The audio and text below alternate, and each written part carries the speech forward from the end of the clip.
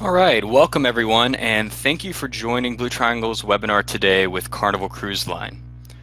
Uh, we'll be discussing digital experience optimization and the approach Carnival is taking in this discipline.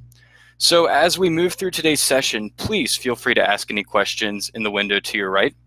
We'll address those questions at the end of the webinar during the Q&A. My name is Josh Carter, and I am the Director of Marketing here at Blue Triangle. And I'm joined by my colleague, Dan Boutin, who is Blue Triangle's VP of Digital Experience Optimization, and Eric Leon, who is Carnival Cruise Line's Senior Performance and Monitoring Architect. So now Dan Boutin is going to help us understand digital experience optimization and show us some use cases around it using real Carnival data. Take it away, Dan. Great. Thank you, Josh, and thank everyone for uh, attending. So first what we want to do is kind of define what is digital experience optimization. It's a, it's a term that's been used in, in, in marketing circles in different areas. And what essentially what it is from our standpoint is a revenue-centric approach to optimizing the entire digital experience, everything from marketing campaigns, including revenue performance and web performance. That's the reason why performance doesn't have web or revenue in front of it. It actually encompasses both. When marketing and IT talk about performance, they both wrap those into it. So that's our definition of DEO, and that's the basis for what you're going to hear today. So what is it? What does DEO consist of? DEO consists of several areas over the past 20 years that have kind of evolved as silos in this space. Everything from customer journey mapping to exit rates to marketing analytics and campaign analysis uh, on the business side, uh, and tag governance on the business side, and tag measurement and object measurement, as well as the real user monitoring and synthetic monitoring that really provide the the baseline why in uh, in anything that uh, encompasses DEO. DEO, if you're looking at uh, customer journey and mapping, and you want to understand why revenues isn't, being driven the way you're hoping it would be driven, it'd be nice to have a why component, and that's been lacking uh, in this space for for a long time. Next one. So we're going to walk through some use cases. Uh, didn't want to bore you with with product uh. So what we're going to do is actually walk through some use cases uh, that are, are, essentially available and that are used uh, on a daily basis by many of our customers, in, including uh, Carnival, which we'll talk about today. So the first one is essentially tracking marketing campaigns. A lot of our customers run uh, marketing campaigns, sometimes uh, a few dozen, sometimes in the hundreds every week. Uh, and they want to understand what the performance of those campaigns are. Uh, they, they want to see everything from just generic traffic coming in, which is what you see here on the top, uh, to essentially campaign by campaign analysis. If we're if you're running a, a loyalty campaign and, and you send out an email to uh, maybe friends and family or your uh, your loyalty rewards members and subscribers, say on a Monday morning, you want to actually watch that launch, watch the content, make sure it's performing correctly, make sure revenue is performing correctly, uh, and make sure it goes off without a glitch. And what we're what we're doing here is we're doing it. Uh, this screenshot is actually showing uh, a snapshot of something that's actually being done in real time. Uh, the campaigns actually can run uh, from the from the get go and can actually they're automatically auto refreshed. And um, essentially, in this case, where the campaigns were, were measuring uh, the one that's actually more sailings, which is geared towards returning visitors, um, has a, a, the highest conversion rate for all the campaigns here, and that's why it's where it is in that spot. So analyzing a traffic source, one of the things that uh, marketing folks in, uh, lo love to do is to understand where uh, where they're spending their ad dollars and where they're getting the most revenue for those ad dollars. So if they're doing a lot of ad dollars in Google Ads or Google placement uh, or Facebook or uh, you know Twitter or any any other again uh, social media platforms, you want to be able to understand where your traffic's coming from and, and if they're converting if you're spending a lot of money on Google ads and your uh, revenue is low and your traffic is low, uh, you probably might want to consider moving that money elsewhere to where you're getting more revenue and uh, you know more bang for your buck. But uh, the DEO platform provides a, an ability to be able to track that uh, ad revenue and understand where your where your users and, and buyers are and customers are coming from. So one of the things we do, um, we, we are very much into measuring success, uh, especially uh, year over year. So marketing is usually charged with uh, an MBO, management by objective, that sometimes says, hey, you, know, you have to increase your marketing and campaign revenue by 20% year over year. And it'd be nice if you could actually manage the campaigns and look at the performance based, you know, compared for the same period last year. Uh, and you want to look at order value, you want to look at visitors and page view and conversion rate, orders, order size, uh, and you know most importantly revenue. And you want to be able to do that in real time because if something's not working uh, you want to be able to have the ability to adjust those campaigns on the fly which i'll talk about uh, in a minute as well. Next one and then on a micro level you, in a campaign you actually want to look at look at day over day so if you want to compare yesterday to today or monday of this week versus monday of last week say i'm running the same uh, campaign two or three weeks in a row i want to understand uh, am I am I getting the the revenue? Is is the campaign still uh, a valid campaign? Is it still successful, or has it gone stale? And I usually liken that to a uh, a Star Wars premiere where uh, everybody is going to the Star Wars movie when it first comes out and standing room only. But if you come back in six months, um, you probably have the theater to yourself, and that's really a, a the ability to measure you know when it's time to pull that campaign or when it's time to revamp or campaigns that may uh, run over a, a, period of time and aren't just something that, that runs week to week so one of the big things in deo is essentially the customer journey and customer journey what we use it for this is essentially what customers and what users do when they come to your site and we segment traffic uh, in two different ways actually three we do top combined paths which is everybody coming to the site what are the top paths they're using what are the, the, route, the routes most traveled uh, but what we really look at is converted versus non-converted. What is, you know, a non-converted path? Why are people, you know, not buying? What are they doing? And what we see here, and as an example, is this, this particular. This is actually the top path, and the last uh, part in the in the, uh, in the path is actually the itinerary page, and it's taking a really long time to load. It's eight seconds here, and it has a 100% exit rate. So um, that's the first time that we've shown exit rate. So traditionally, um, in typical category uh, web performance tools, you don't see exit rate yet. Exit rate is very, very critical uh, to folks in the business and in marketing because exit rate is essentially you've got an engaged customer. As you see here, you've got a customer that essentially took five steps with you, uh, yet he didn't purchase. So an exit rate that is that high with an engaged customer is something uh, definitely need to drill down and find out why.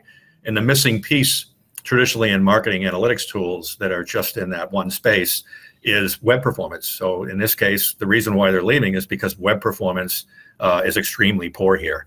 Um, so by marrying those two uh, uh, metrics together, the web performance and, and, exit rate, you're able to actually see uh, that this is something you need to drill into because it's impacting uh, revenue. You've got because you've got no conversions here.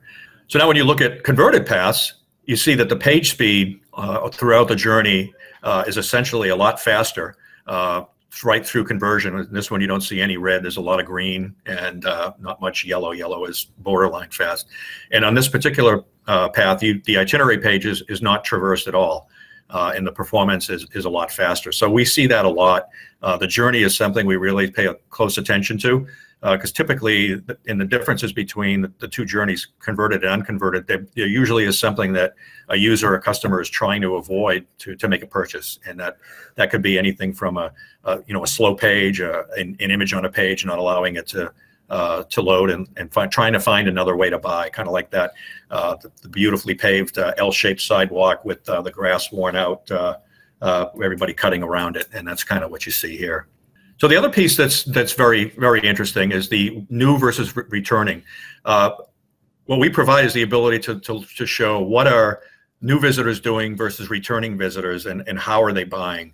Uh, with new versus returning, you want to be able to understand if people are coming to to your site and they aren't purchasing, so they're in the unconverted uh, part.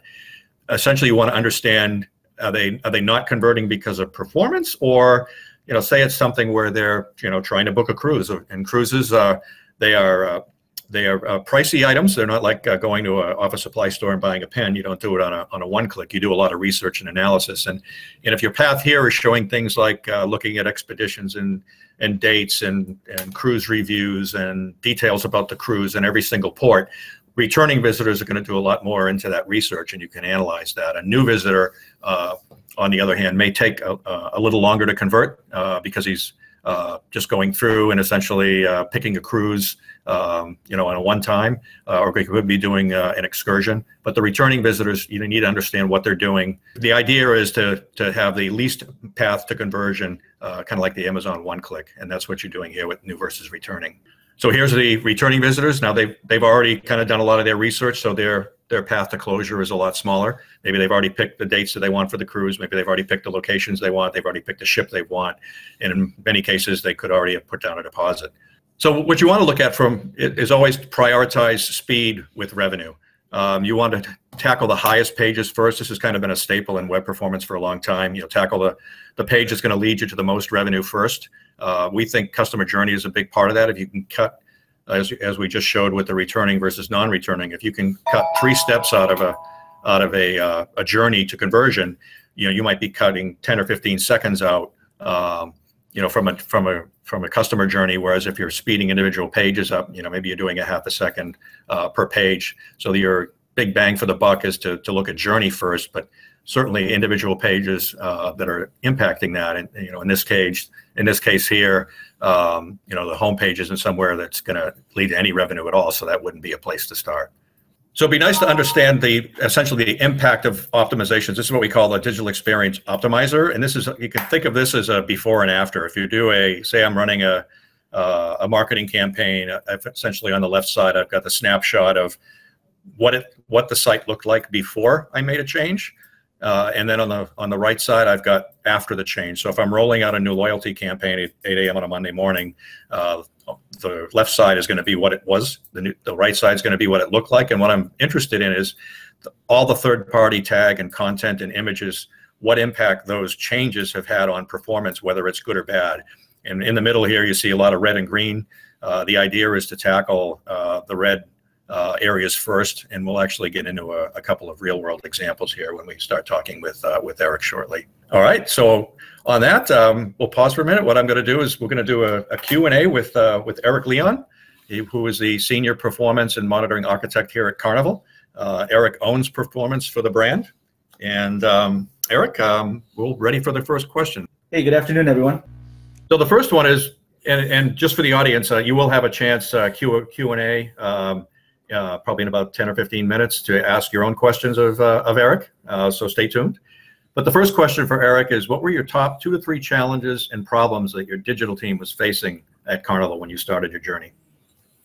I think uh, top three. I think that the first one uh, would, would be understanding the impact of our performance, uh, our website performance on revenue.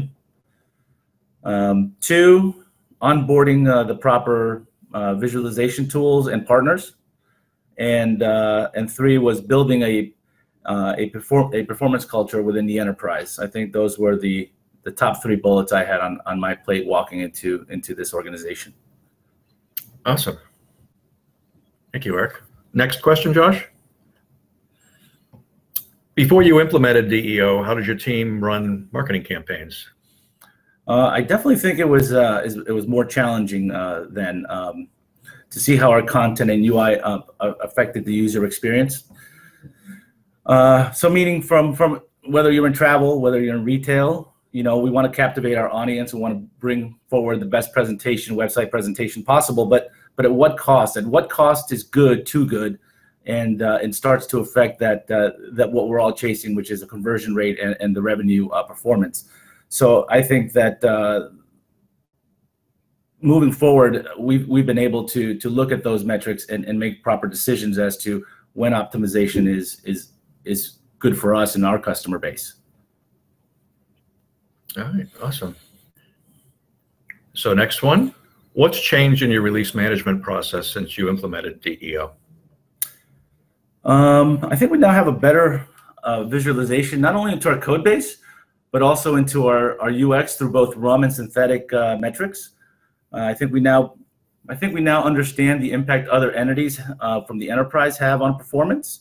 Uh, so when I say other entities, I'm talking about uh, teams like content, teams like analytics, marketing, uh, not just development and operations, which is you know the, the the code base and the and how our hardware is performing. I think there's other pieces of the puzzle that need to be held accountable for performance uh, through an enterprise in order for in order for us to all be on the same page. All right, great. Next one, Josh. So this is one everyone's always interested in. What uh, what metrics or KPIs do you provide to management, and, and has anything changed in that area? I, I think so. So with with with this uh, with this question, it's interesting because I think that um, performance teams uh, as a whole are evolving and, and going into a more uh, revenue performance uh, area. But but I think that, that, there are still teams that are that are in this space where we're still reporting on server metrics and response times. I think uh, our reporting has changed considerably since now we're we're able to look at uh, campaign successes and failures. We're able to look at uh, landing uh, landing page and customer journeys. Uh, and why is that important? Is because it, it really helps us understand where our customers are leaving our site. Uh, where in a customer's path we can improve. Um, I think we're now able to to focus on which pages uh, really need to be addressed and optimized first. Uh, so it's basically 20% of the pages generate 80% of revenue. So now we have visualization into that, and I, I think that's very powerful for us as a as an as an e-commerce platform. Awesome. Next one, Eric, uh, is how has your reporting changed since you implemented DEO? I know we've talked about this one quite extensively over the uh, past few months. Well, uh, from a from a reporting perspective, uh, I'm never one big on. I've never been one to be big on reporting, but uh, but but the but the one thing I can say is that our reporting today is real time. We're not having to wait for data to aggregate uh, three, four hours later uh, when it's too late. So you know we have we have the capability to run almost real time um, and i say that within a five you know plus or minus five minutes. Um, you know we can make real time decisions whether it's in a campaign whether it's post release whether it's uh, anywhere in our in our life cycle um, or or a user presentation. Qa for attendees. So this is an opportunity to spend uh, uh, several minutes with uh, with eric and any questions that any of the audience has uh, go ahead and fire them up in the uh, in the portal and and uh, Josh will take control. Yeah, yeah. Looks like we Looks have a few have... questions that just came in. Uh, John has a question, and I think this is for you, Dan. Uh, he's asking, we use Adobe for marketing analytics. Does this product replace that? Interesting, interesting question. Uh, I actually get this asked this all the time. So the the area really where we play is we we essentially what digital experience optimization plays is marketing analytics is a is kind of a piece of the pie, but the analytics that it provides don't tell the whole story. Um, you can have the customer journey, which is Activity Map, and and uh, and the analytics solutions, uh, one of which you, you mentioned here, John.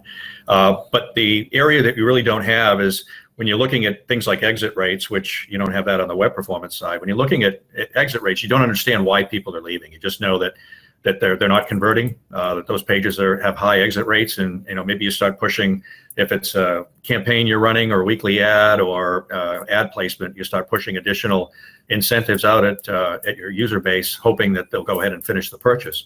But if you had the information uh, that you see here uh, with the web performance piece, then you would be able to understand the why. Okay, is the why that the campaign is stale, is, which we showed you with the day over day, you know, which you can do day over day, week over week, month over month, year over year. Is it is it the staleness of the campaign, or is it something just simple uh, like uh, page page load time? It, it, the page is just loading so slow that customers uh, and users get frustrated and leave, whether it's a single page or, or cumulative in the journey. We've seen uh, several instances where um, you know people will stick you know stick it in a campaign and a bunch of slow loading pages uh, and try and make the purchase. Uh, we have a term for it called user tenacity, which was uh, coined by one of the folks here at uh, Blue Triangle. Um, but that's an area where that product doesn't provide uh, that type of deep deep dive.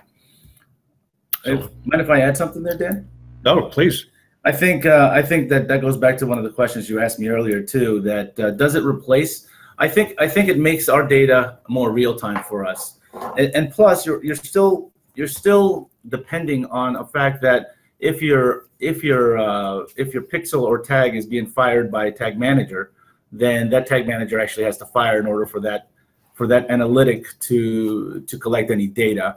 Uh, I, I think that uh, that's that's always been tricky for us. I think that's why we like having the the JavaScript injection on on our code level uh, as opposed to from a tag manager perspective. It, it gives us a little more uh, surety that when that page fires, so will the analytics. Thanks, Eric and Dan. Uh, there's another question from Rachel who asked, do you use this product to look at web performance? It's a technical question, I suppose. I think, is that for me? I'll let Yeah. Eric. I'm going to assume it's for you, Eric. All right. So so yes, the answer is yes, and it and it provides a, a multi-dimensional uh, view of performance for us. Uh, again, we, we're going through uh, synthetics, uh, real user analytics. Uh, we're looking at uh, the customer journey. We're looking at third-party tagging and how that affects performance on our site. You know, we're, we're seeing how the uh, third-party third-party hosts are performing on our, on our website. So yes, it, it definitely is used for uh, for performance measures. Great, thanks. Um, this, I'm assuming, is a question for you again, Eric. It's how did you do this prior to Blue Triangle? I'm assuming this means uh, measuring campaign success and performance metrics. So I mentioned one of the topics, uh, one of the bullets I had earlier was uh, the performance culture. So prior prior to um, it, it was a lot harder. It, it was a lot harder. It was it was really solely dependent upon the team that that owned it, which is either marketing or or analytics. And this gives us now a visualization down into my my floor level where where we can really um, hold other entities accountable uh, for for their performance on our on our on our website. Awesome, thanks. Uh, another one came in that asks, uh, I think this is for you, Eric, again. Uh, were you able to catch a problem on your website by looking at that customer journey flow that you showed earlier? Oh, for sure. I think uh, the, the, valuable the valuable metrics here are exit rates and onload times. And when you notice a page is is exiting at 100%, uh, you can quickly go in and, and, and, take a look at what is causing that uh, that exit rate. Like, for for example, could it be a 14 megabit image? Could it be something that's just you know was was thought to be the right uh, presentation, but but but really really was hindrance more than you know what I was talking about before. Was it really more of a hindrance than it was uh, an optimization or or or value to the user? Got it. Thanks, Eric. Really appreciate that. Um, looks like we are done with the Q&A portion. Uh, we'd like to thank everyone for joining the webinar today. Uh, you'll soon receive an email with this recording and a copy of the presentation for your reference. So uh, be on the lookout for that coming from myself. Uh, thanks again for joining and have a wonderful day. Thank you. Thank you, everyone.